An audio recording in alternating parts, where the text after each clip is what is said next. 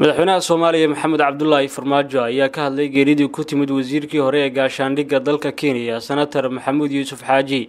Madaxweyne farmaajo ayaa qoraal u soo saaray waxa uu tacsi tiraanyalo ugu diray dhammaan qoyskii iyo heladii allah u naxariistay senatar maxamuud yuusuf xaaji oo xilal kala duwan oo muhiima ku soo matelay soomaaliya iyo kenya.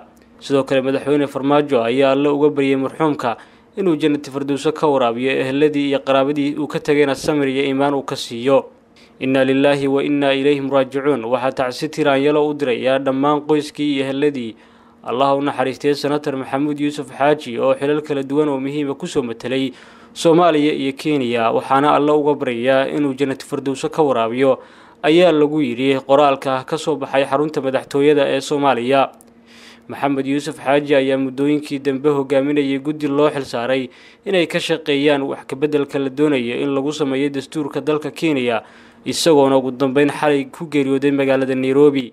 Marxuumka oo aada lagu yaqaana magaca yuusuf xaaji ayaa waxa uu dhashay sannadkii kun iyo afartankii waxaana uu ku dhashay gobolka waqooyi bari ee soomaalidu ay degto ee kenya gaar ahaan gaarisa cabdiqani boos s b c. Aniguse waxaan isticmaalaa samtel isagu مو استعماله سمتيل.